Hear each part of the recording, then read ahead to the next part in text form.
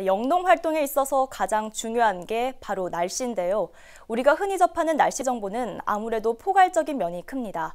전주 기상지청이 농민들이 필요한 기상 정보만을 따로 모아 제공하는 드레서콜 서비스를 시범 운영 중입니다. 엄상현 기자의 보도입니다. 지난 2015년 완주군의 특산물인 흑꽃감이 광범위한 곰팡이 피해를 받습니다. 양파와 마늘 등 밭작물 역시 기상 조건에 따라 상품성이 달라집니다. 이처럼 농사에 큰 영향을 미치는 기상. 전주 기상지청이 영농 기상 정보 서비스인 드레서콜을 운영 중입니다. 기후 변화에 따른 위험 기상 현상이 빈번하게 또는 돌발적으로 발생하고 있습니다.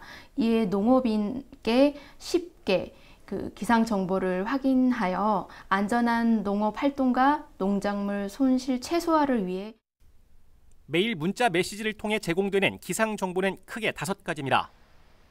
안개나 무더위 등 기본적인 날씨 이슈를 비롯해 이번 주 중 언제가 영농 작업하기에 좋은지 여기에 향후 열흘치 기상 정보도 함께 제공됩니다. 또 강수량과 기온 등 최근 15일간 측정된 관측 정보를 작년과 그리고 평년과 비교할 수 있는 내용도 포함됩니다. 동이 트는 시점을 기준으로 몇 시부터 영농 작업이 가능하고 또 몇 시에는 마감해야 하는지도 알려줍니다. 농가에서는 이 정보를 바탕으로 이번 주 영농 계획을 세울 수 있습니다. 현재는 시범 운영 중입니다.